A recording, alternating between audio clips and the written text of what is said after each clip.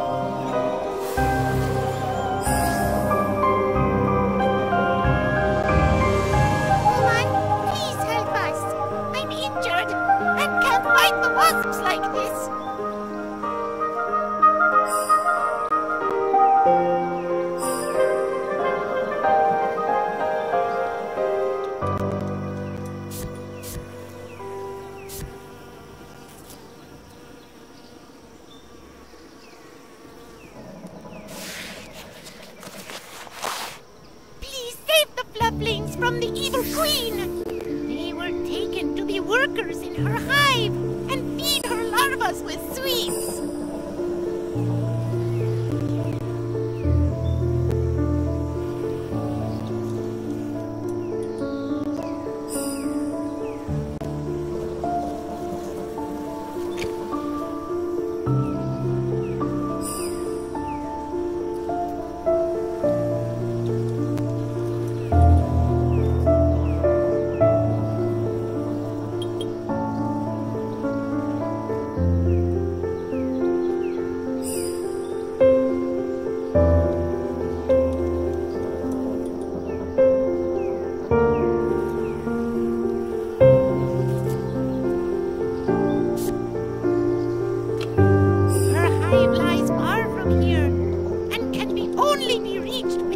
Flying windmill, unfortunately.